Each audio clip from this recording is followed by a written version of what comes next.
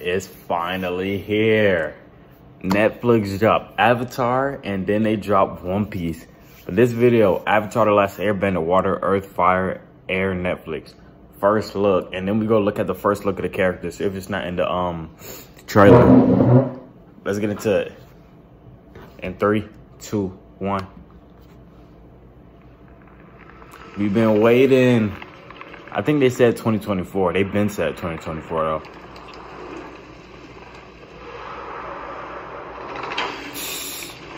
Come on now. Yes, sir.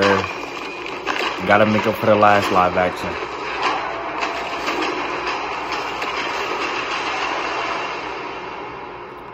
No way that's it.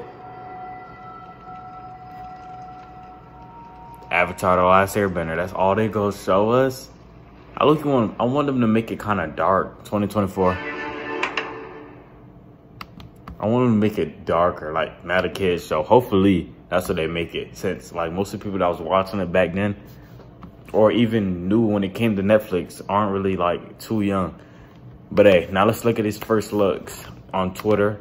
We got Aang. His eyebrows is crazy. I'm not gonna hold you. His eyebrows is crazy, but hey, Katara, Sokka. I guess it could be a little darker, I guess. And then, okay, Zuko. They made the eye look real. I like that. Zuko straight. Zuko cool. They look young, but I guess they're actually young in the thing. I'm surprised. You know how Netflix get getting 20 year olds to play little kids. You know how Netflix get. But hey, it's looking good. It is looking good. All we gotta do is see. All we gotta do is see. Hey, it's not Nickelodeon. It's Netflix. All we gotta do is see. Hey, if you got anything you want me to react to, all you gotta do is one, be subscribed to me, and two, comment down with video and react to. Simple as that. I'll be out.